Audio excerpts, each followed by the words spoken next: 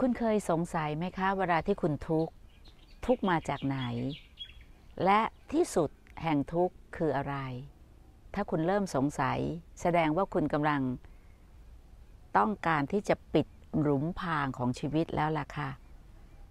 ความกลัวอันเกิดจากความไม่รู้ แล้วทำให้เราไม่กล้าที่จะทำอะไร จนกระทั่งเรากลายเป็นบุคคลที่ตกลงไปในหลุมดำอันนี้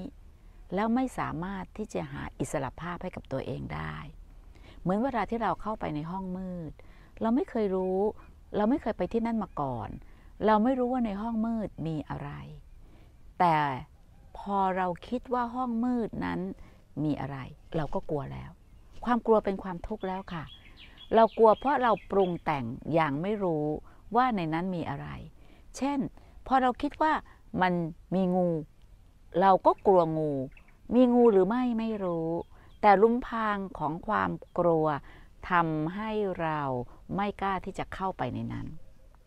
พอวันหนึ่งเราเซไป เราเดินเข้าไปในห้องนั้น แล้วเรารู้สึกได้ว่ามันมีสิ่งที่เราเคยได้ยินได้ฟัง เช่น เราคิดว่าห้องนั้นมีผีแล้วกันนะคะ พอได้ยินเสียงตึกตึกตือเราบอกตัวเองเลยว่า เห็นไหม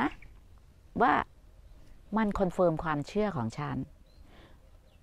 ว่าไอ้เสียงเนี้ยในละครน้ำเน่าหรือว่าในหนังผีอะมันบอกว่าเสียงผีเป็นอย่างนี้เนี่ยความจำได้หมายรู้ในอดีตมันเข้ามาครอบงำเรา หรือพอมันมีกลิ่นตุตุเราก็บอกว่ากลิ่นผี พอจมูกทำหน้าที่ใจมันปรุงแต่ง มันก็คิดว่าผี ตาก็ยังหลับอยู่อย่างนั้นแหละเพราะความกลัวห้องมันก็มืดอยู่แล้ว ยังหลับตาซ้อนความมืด ยัง confirm กับตัวเองว่าได้ยินเสียงมัน ได้กลิ่นมัน แล้วพอมีแบบเหมือนความเย็นมันพัดผ่านวูบวาบ เรายิ่งปรุงแต่งเข้าไป สิ่งเหล่านี้ทำให้เราสรุปรวมเลยค่ะ ว่าผีแน่ ๆ พอเราเซไปถูกสวิตไฟ ไฟมันเปิดปึ้ง ไม่ต้องมีใครมาปอบเราเลยค่ะ เพราะเราเห็นว่าไอ้สิ่งที่เราคิดว่ามีมันไม่มีค่ะ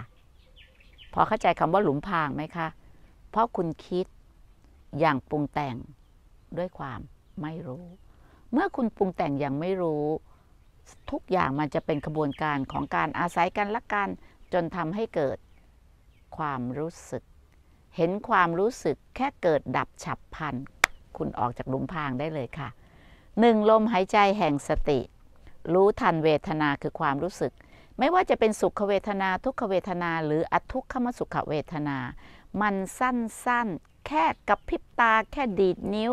แค่น้ำหยดจากปลายลิ้น อะไรอร่อยไม่อร่อยไม่ต้องไปกินไปด่าไปแล้วค่ะ ออกจากหลุมพรางของชีวิตได้แล้ว นั่นหมายความว่าคุณจะละตัณหาได้ เมื่อไม่เพลินในเวทนาตัณหาไม่มีภพชาติแห่งทุกข์ไม่มี นี่คือวงจรของธรรมชาติที่เรียกว่าปฏิจจสมุปบาทค่ะ เป็นธรรมชาติที่ เมื่อคุณเข้ามาเห็นในใจของคุณเมื่อไหร่ คุณจะปิดลุมพรางของชีวิตได้อย่างสิ้นเชิงเลย ขอให้มีความสุขสงบเย็น